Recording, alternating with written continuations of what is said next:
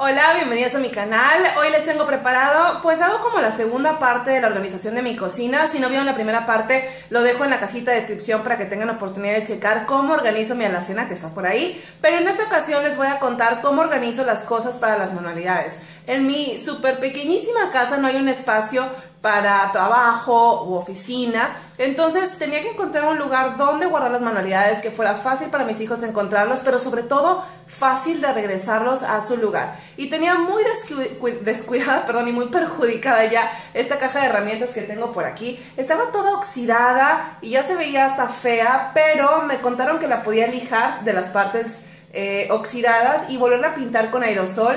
Así es que fui a Waldos y me compré una pintura roja, la pinté y quedó como nueva. Entonces ahora quiero enseñarles cómo fue que organicé todo dentro de esta caja de herramientas porque tengo tanto las cosas de manualidades así como la herramienta de mi esposo. Así es que vamos a ver cómo quedó. Es una caja de herramienta grande. No sé dónde sacamos esto, pero he visto unas muy parecidas en Lowe's. Y lo que hice fue lijar. A lo mejor de aquí se alcanza a ver que hay unas partes que no están uniformes. Por ejemplo, aquí, donde lijé y después le pinté. Esta pintura, pues era la única pintura roja que encontré en Waldos. Dio perfectamente el tono y el acabado porque no es mate ni brillosa. Es como medio satinada. Así es que va perfecto. Voy a comenzar con la parte de arriba. Y en esta primer parte guardo las cosas más básicas de oficina. Aquí tengo una cajita con imán donde guardo las tachuelas. Esto no lo usa ninguno de los niños, así es que puede estar perfectamente ahí donde no la van a poder quitar para abrir porque es peligroso. Aquí tengo una caja donde vienen unos chocolates Ferrero Rocher.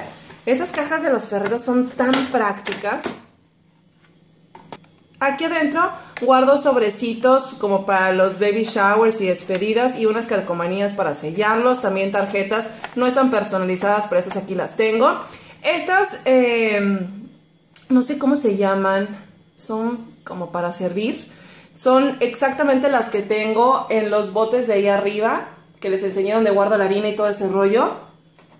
Aquí tengo este repuesto, creo que son de Michaels y aquí tengo unas tarjetas personalizadas mías y también de los niños que de hecho ya tengo que sacar más.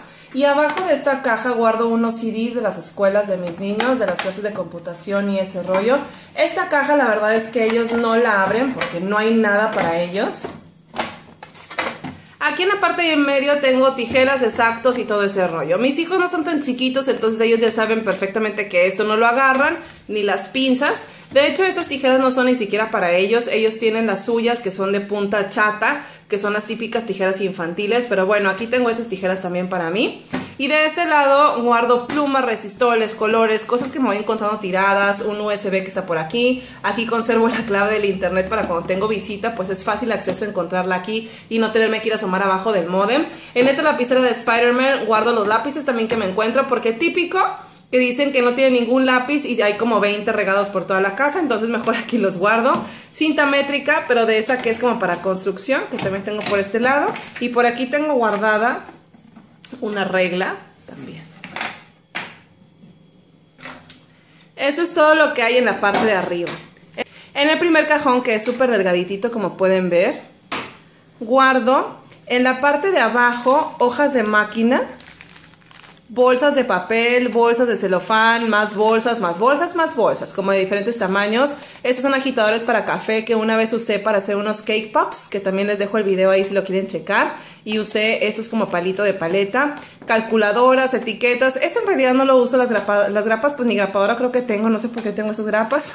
y este pad como para sellos. Aquí los tengo porque pues no sé, de pronto se pueden ofrecer. El siguiente cajón ya es de los grandecitos.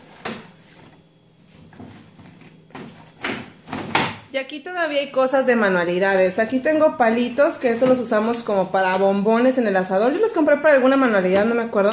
Y aquí los guardo. Esos palitos son también de bambú. Pero, bueno, estos más bien son de bambú y estos son de madera. Estos son delgadititos, como para brochetas.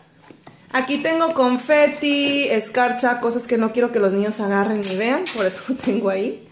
Listón. Por acá tengo chaquirones. Los separo por color porque es más fácil para mí las cosas para coser, que soy re mala cosiendo, y más cosas de manualidades en una cajita igual. Estas cajitas son buenísimas, las encuentras en Wallos y creo que cuestan como 20 o 30 pesos. Y parece que no es buena inversión, pero no sabes qué bueno es tener las cosas organizadas, tanto para cuando las buscas, así mismo como cuando las quieres poner en su lugar. En el último cajón tengo herramienta y también traté de acomodarlo lo más funcional posible. Tengo martillos. Bueno, este cajón es como que prohibido para los niños, ¿no? Porque hay puras cosas peligrosas. Tengo por aquí eh, tornillos, cosas para taquetear, herramienta, herramienta, herramienta, herramienta. Y tengo herramienta más grande en la parte de abajo hasta un serrucho tengo aquí, lijas, porque de pronto ya ven que yo pinto mesas y restauro mis muebles viejos y los cambio y así, entonces esta herramienta siempre la uso. Y los desarmadores, que realmente las mujeres también usamos los desarmadores, pero pues esto no es mío, es de mi esposo. Pero tampoco podía agarrar la caja de herramienta y con permiso te saco tu herramienta y meto todas mis manualidades, pues no, tenía que dejarle cuando menos un rinconcito para sus cosas. La parte de abajo se abre de esta manera. Y esto es lo que guardo aquí. Aquí tengo un bote de pintura, esta cuerda que usé para las cajas que tengo en mi closet, que fue una manualidad que subí también a mi canal de YouTube. Unas cosas de que tienen como diamantina, que me gusta tenerlas aquí porque luego se llena todo de diamantina.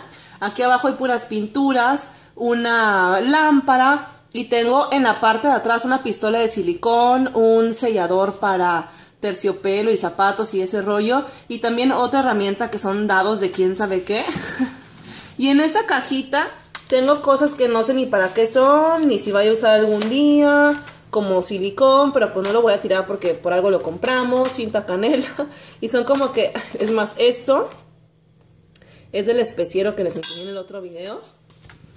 Y allá tengo eso que es para pegar papel tapiz, una flauta que no sé qué onda con esa flauta.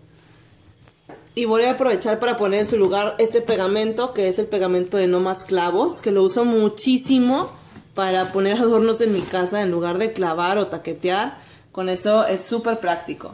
En uno de los lados de la caja de herramientas puse estos ganchitos que los puedes encontrar en cualquier súper. Este, si no me equivoco, es de Waldos. Y lo pegué con cola loca para que resistiera súper bien. Y con cuerda o mecate normal hice como...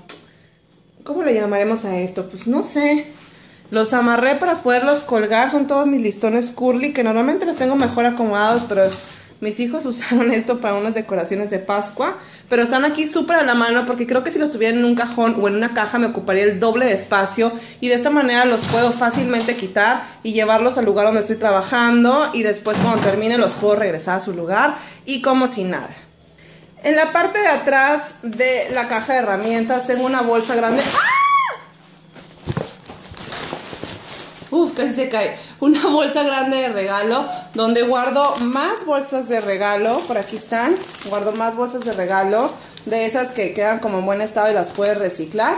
Y también papel para forrar las libretas de la escuela, contact y ese tipo de cosas que luego no encuentras dónde guardarlo y tenerlo colgado en la caja de herramientas lo hace súper práctico porque lo puedo también mover a cualquier parte, así mismo como las, los listones curly. Aparte, también digo, la caja de herramientas entera la puedo mover a cualquier lado y este ganchito también lo pegué aquí atrás para que fuera súper práctico. Espero que este video de organización les haya gustado. Si fue así, no olviden darle like y suscribirse a mi canal. Y recuerden que no hay que gastar. Digo, yo no gasté. Yo ya tenía esta caja de herramientas y lo único que hice fue restaurarla porque ya estaba súper maltratada para poderla usar y que se viera bonita en donde quiera que la pusiera. Pero ustedes pueden usar perfectamente una cajonera de plástico como esa que está ahí, que yo pinté de blanco para que no se viera para adentro. Y la puedes pintar de cualquier color que te guste y traen llantitas, así es que pues la idea de la caja de herramientas y la cajona de plástico es exactamente lo mismo. Espero que les haya gustado y nos vemos en el próximo video, que ya saben puede ser de organización, de maquillaje, decoración, manualidades, uñas, cabello, de todo lo que nos gusta a las mujeres. Bye.